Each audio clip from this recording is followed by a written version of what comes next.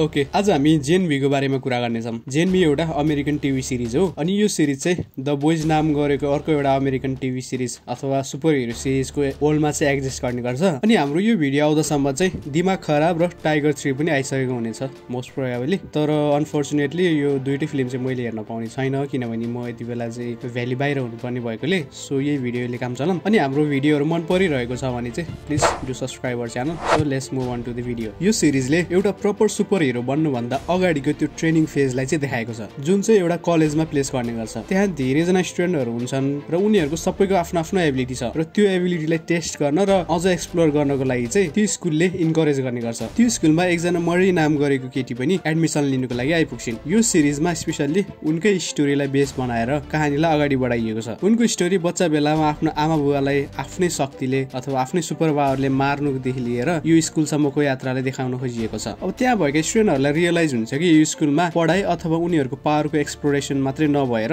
ब्याकडोरमा कुनै अनइथिकल कामहरू भइरहेको छ जुन उनीहरूलाई थाहा छैन। त्यसैले उनीहरूले अब बिस्तारै बिस्तारै जानी नजानी यो कुराहरूलाई एक्सप्लोर गर्न थाल्छन् र एकदमै डार्क ट्रुथहरू बिस्तारै बाहिर आउन थाल्छ। यसको बेसिक स्टोरी लाइन यही नै हो। यो सिरिजमा हामीले धेरै खालका सुपर पावरलाई देख्नेछौँ। यसको टोटल चाहिँ आठवटा एपिसोडहरू रहेका छन्। अनि यो स्टोरीले चाहिँ ग्रेजुअल इम्प्रुभमेन्टसँगै आफ्नो आर्कलाई बढाउँदै जान्छ। यसको फर्स्ट एपिसोडदेखि नै स्टोरी एकदमै इन्ट्रेस्टिङ हुँदै जान्छ। इच एपिसोडको एन्डमा हुने त्यो क्लिफ ह्याङ्गरले तपाईँहरूलाई नेक्स्ट एपिसोड ट्युन गर्नुको लागि पक्कै इन्करेज गर्छ। अब मैले यो सिरिज सुरु गर्दाखेरि चाहिँ सबै एपिसोडहरू आएको थिएन। मैले एउटा एउटा एपिसोडहरू हेरेको प्रत्येक हप्ता। तर अहिले चाहिँ यो सबै आठवटा एपिसोडहरू आइसकेको छ। त्यसैले तपाईँहरूले यसलाई चाहिँ मजाले बिन्जवाज गर्न सक्नुहुन्छ। यस्तो सिरिजहरूलाई चाहिँ बिन्जवाज गरेकै राम्रो लाग्छ मलाई। किनभने बिन्जवाज गर्दाखेरि यसको फ्लो चाहिँ टुट्दैन। तपाईँहरूले सम्झिराख्नु पर्दैन कि लास्ट एपिसोडमा के भएको थियो र अब अगाडि के हुँदैछ भनेर। अनि मलाई यो द बोइज हेर्नुको रिजन र यो जेनबीको हेर्नुको रिजन चाहिँ मेन रिजन भनेको यसको चाहिँ आर रेटेड सिरिज हुनु हो। आर रेटेड मलाई पहिलादेखि नै मन पर्थ्यो मलाई डेट पुल एकदमै मन परेको थियो आर रेटेड भएकै कारणले गर्दाखेरि यो सिरिजले पनि द बोइजकै थिमलाई फलो गर्ने गर्छ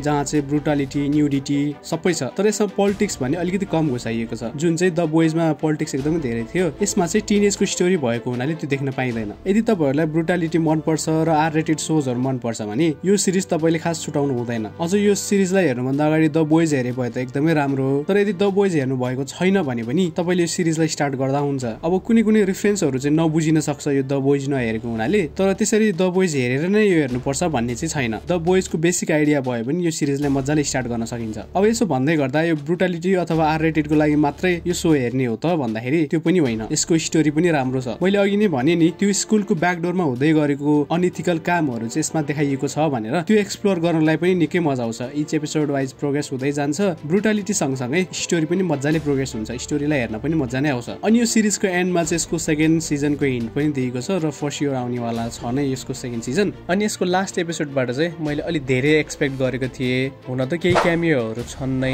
तर म अझै त्यो फाइटहरू ब्रुटालिटीहरू अझ धेरै एक्सपेक्ट गरेको थिएँ जुन अलिकति ल्याक पाएँ मैले लास्टको एपिसोडमा चाहिँ। तर हामी होप गरौँ कि नेक्स्ट सिजनमा चाहिँ अझ धेरै एक्सन अनि ब्रुटालिटी सँगसँगै स्टोरीको अझ राम्रो प्रोग्रेस देख्नेछौँ। अझ यदि तपाईँहरूसँग टाइम छ भने त द बोइज हेर्नुहोस् अनि यो हेर्नुहोस् एकदमै रमाइलो छ दुईवटै। अनि तपाईँहरू चाहिँ यो इङ्ग्लिस ल्याङ्ग्वेजमा कम्फर्टेबल हुनु हुँदैन भने चाहिँ द बोइज र जेनबी दुईवटा नै हिन्दी डबमा पनि एभाइलेबल छ। सो आजको भिडियो यति नै थियो। अनि जाँदा जाँदै यदि हाम्रो च्यानलको भिडियोहरू मनपर्छ भने चाहिँ हाम्रो च्यानललाई सब्सक्राइब गर्नु होला अनि लाइक पनि गर्नु होला अब हाम्रो भेट अब अर्को भिडियोमा हुनेछ। So C you that